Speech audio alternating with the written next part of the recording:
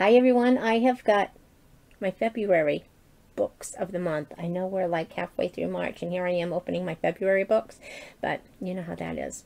But anyway, I am so glad that you're here. I hope that you stick around and share these books with me and I would love to hear your thoughts on them. So I hope that you stick around and join me.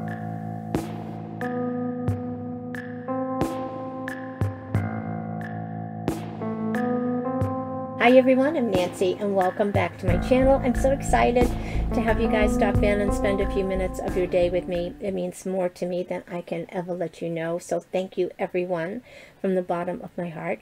If you are new to my channel, I hope that you would consider hitting that little red subscribe button over there.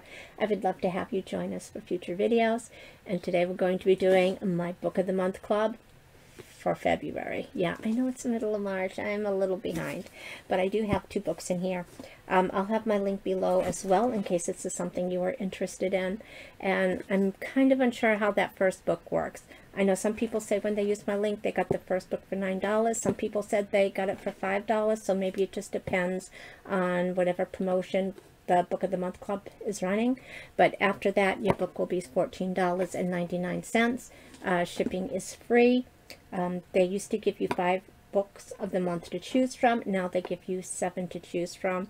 Um, it's easy enough to just hit skip if there's nothing that interests you or you're just falling behind on your reading like some of us are falling behind on opening your boxes too. Uh, you can hit skip or you can pick something from their vast uh, library. They've got a huge, huge library of books to choose from as well.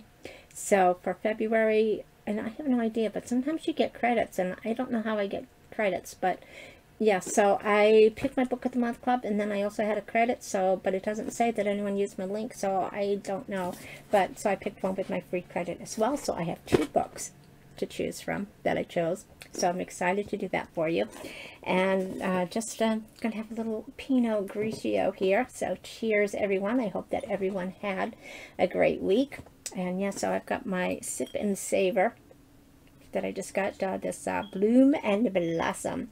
So that subscription for March. Just got a little bit in the glass. So hope everyone had a great week. Cheers. And a great weekend. And to a great week ahead.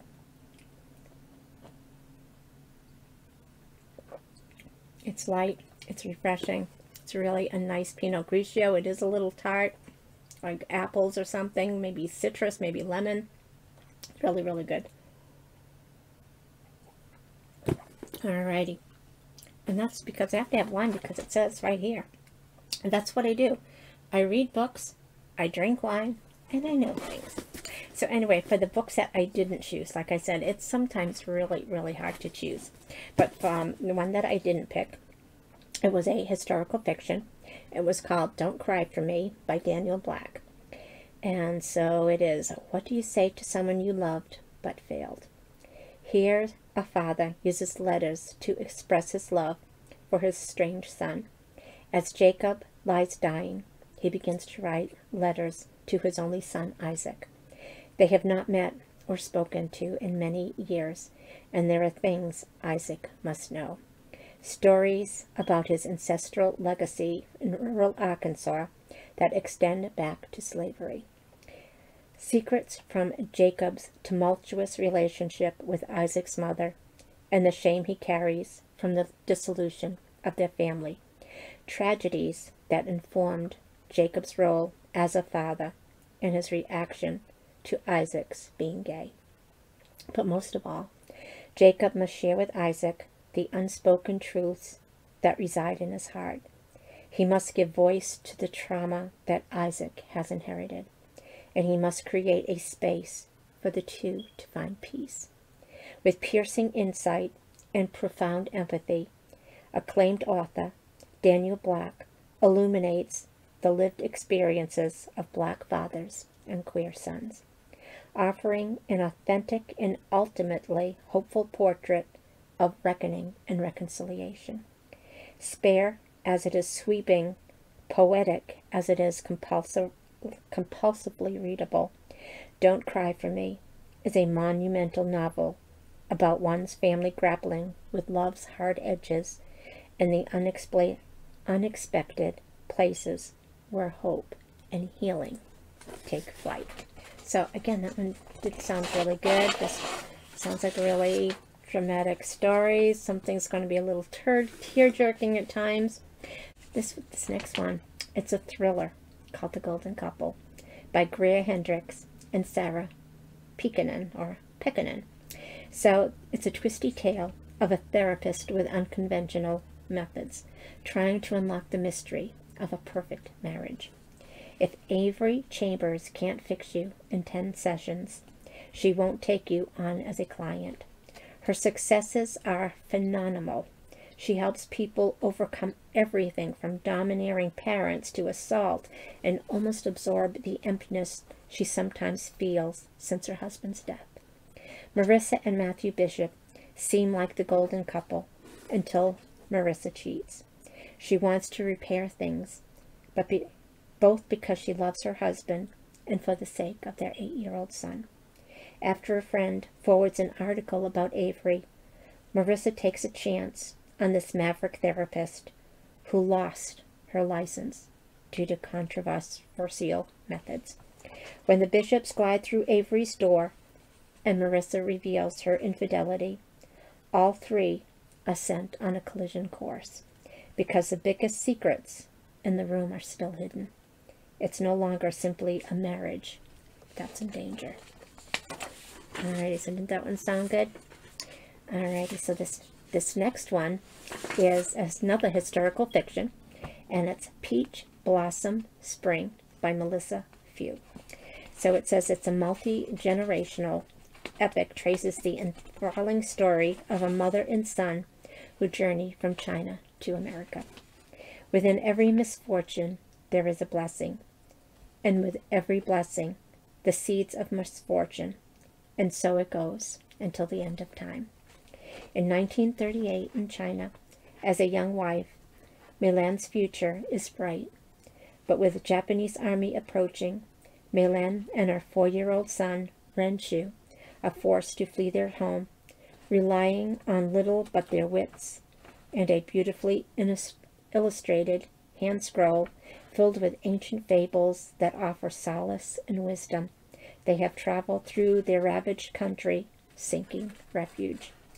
Years later, Ren Shu has settled in America as Henry Dao. Though his daughter is desperate to understand her heritage, he refuses to talk about his childhood. How can he keep his family safe in this new land when the weight of his history threatens to drag them down? Yet how can Lily learn who she is if she can never know her family's history? Spanning continents and generations, Peach Blossom Spring is a bold and moving and moving, not moving, moving look at the history of modern China, told through the story of one family it's about the power of the past, the hope for a better future, and the haunting questioning, question, what would it mean to finally be home? Again, that one sounded like another great book. Alrighty, so this next one that I also didn't choose is a literary fiction called Vladimir by Julia May Jonas. So it says it's darkly humorous exploration of gender and power, and it follows a cantankerous female professor in the midst of a scandal. When I was a child, I loved old men, and I could also tell that they loved me. And so we are introduced to our deliciously incisive narrator, a popular English professor whose charismatic husband at the same small liberal arts college is under investigation for his inappropriate relationships with his foreign former students. The couple has had a long mutual understanding when it comes to their extramarital pursuits, but with these new allegations, life has become far less comfortable for them both. And when our narrator becomes increasingly infatuated with Vladimir, a celebrated, married young novelist who's just arrived on campus. Their tinderbox world comes dangerously close to exploding. With a bold, edgy, and uncommonly assured debut, author Julia May Jonas takes us into charged territory where the bound boundaries of morality bump up against the impulses of the human heart. Propulsive, darkly funny, and wildly entertaining, Vladimir perfectly captures the personal and political minefield of our current moment, exposing the nuances and the gray area between power and desire. Alrighty, another great book. So anyway, on to the books that I chose. So, let me not knock over those candles and open up the box. I know, finally it's an unboxing. Here I am, you know, half hour in and I'm finally opening up the box. So you've got great taste. So we dump these books out. I'm going to try to empty out, dump these books out. That was harder than it looked. It really was. You're always going to get a bookmark too, for Book of the Month. And BRB, ignoring my responsibilities. So like I said, you always get a little bookmark with a little saying. Alrighty, so this is a big book, right? So this is called A River Enchanted by Rebecca Ross. And it's a fantasy book because I want to try to change up my thrillers and things like that and mysteries. So I'm going to try to get into fantasies here. So, and it kind of reads like it could be a mystery too. So anyway, this is going to be the first in the series. So I think that's too why I picked this one because if I like this book, I know that she's going to make a couple more books maybe to continue with this. So yeah, I'm excited about that. It's over 400 pages. It says it's a slow build, first in the series, and it's a quest. Alrighty. So it says unexplained disappearances draw a reluctant hero back to his island home to confront spirits in this spellbinding tale. A River Enchanted is an exhilarating journey into a richly realized world of myth, magic, and alliances. Old and new, forged for good and sometimes ill, it imaginatively explores classic themes of duty, honor, and going home again. Its characters are fully realized, and you will find yourself willingly, nay, eagerly following them through dark, unsettling forest and into the midst of those who may be friend or foe. When Jack Tamerlaine is summoned to the magical island of Cadence, he returns to the island home he was forced to leave when he was just 11 years old. Now a scholar and teacher, he takes leave from his job to make the journey home to Cadence, crossing the treacherous, treacherous Malevant waters, but it only it is only then that he learns the true reason for his return. Drawn again into the world of enemies, dark spirits, and truths hidden behind magic, lies, and old family secrets, he must join forces with a former childhood rival to solve the mysterious disappearance of young girls on the island. With her adult debut, Rebecca Ross proves herself one of our master world builders and storytellers. This book is a delightful, perfectly paced read and will easily become a favorite read for readers of fantasy. Alrighty, so that does doesn't that sound good? I mean, it still sounds like it's like a mystery, kind of sounds like a thriller, but maybe with the magic forces, that's what makes it a mystery. I mean, a fantasy. So there's another one. Well, it's another fantasy, and this one is by Susanna Clarke, and I'm probably going to butcher that name. It's Piricini or Piranesi. This one's a little bit shorter. Alright, but this one just really sounds really super good too. So this one says, uh, of course, Fantasy, Piranesi, or however you say it, by Susanna Clarke. And I should probably take a sip to wet my whistle. Cheers. Mmm, so good. Okay, so this one says, focus please. See if it's going to focus. Okay, I think I'm focused. Enter a strange, magical, curious world that feels like a dizzying dream and you won't want to wake up from. Pericine's home is no ordinary building. Its rooms are infinite, its corridors endless. Its walls are lined with thousands upon thousands of statues, each one different from all the others. Within the labyrinth of halls, an ocean is imprisoned. Waves thunder up staircases. Rooms are flooded in an instant. But Pyrenees, or Pericene, I should just say Piri, um, is not afraid. He understands the tides as he understands the pattern of the labyrinth itself. He lives to explore the house. There is one other person in the house, a man called the Other, who visits Piranesi twice a week and ask for help with research into a great and secret knowledge.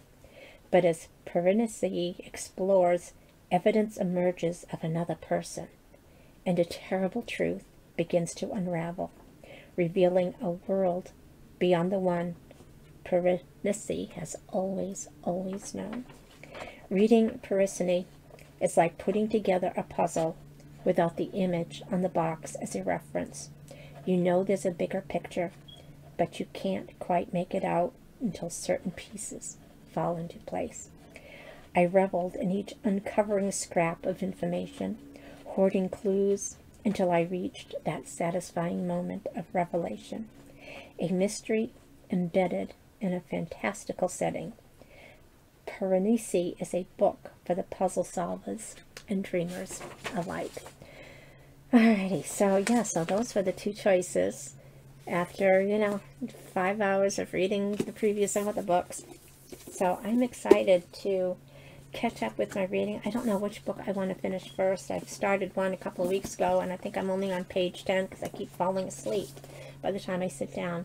But I'm excited to do these ones. I'm excited for this River Enchanted, knowing that if I like it, there's going to be more in the series that I can add on to it. Um, but I like this one because it looks like a shorter book and it just sounds interesting. I can't imagine like living in like an old cave or a tunnel. Maybe, maybe it's like Atlantis, the city that sunk or was flooded over and someone's actually living there and the tides come and go and you got to keep moving so you don't drown. It just sounds magical. But anyway, I want to thank you guys so much for stopping in, spending time with me. If you've read any of these books without any spoilers. I would love to hear your thoughts on them. Even the books that I didn't get, if those are ones you get, I would love to hear what your thoughts so I should know if I should put them on my TBR list.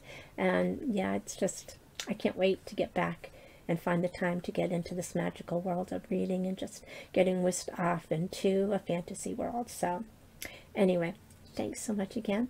I love you guys so much and I appreciate you stopping in and spending time with me so much. And I think I'm probably getting close to that 15 minutes of my limit. So I want to thank you guys again so much. I hope you guys go out, have a great day, and we will all chat again soon. Love you guys. Bye-bye.